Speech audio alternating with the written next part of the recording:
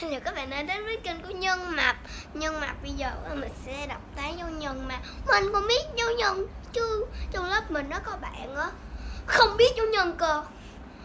Còn nó chỉ biết dấu cộng này, dấu trừ. Trời ơi mắc cười chết đi được. Cho nên là bây giờ sẽ đọc dấu nhân 2 nha. Um, 2 nhân 1 là bằng 2 2 nhân 2 là bằng 4 2 nhân 3 là bằng 6 2 nhân 4 là bằng 8 đúng không? Các bạn cũng đã biết là bằng 8 rồi. Cho nên là 2 nhân 5 là bằng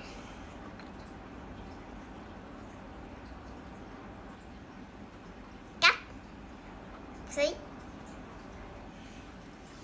Hồi nãy là nộp đến mấy rồi các bạn? Đến năm đúng không? Bây giờ là hai nhân.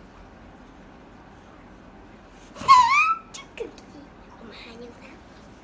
Hồi nãy mình hai nhân sáu mà, hồi nãy hồi nãy hai nhân năm á mà đọc bằng mấy? Đọc bằng sáu, đúng không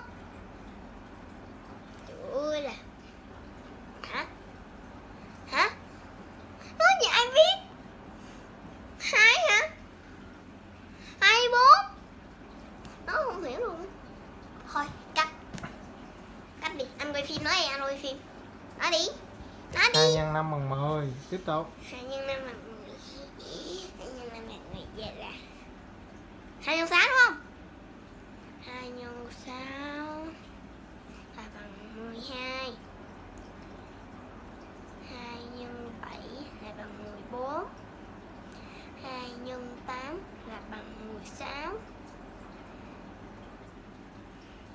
12 nhân 9 là bằng 18 um, 2 nhân 10 là bằng 20 Và tạm biệt các bạn video lần sau. Bye bye.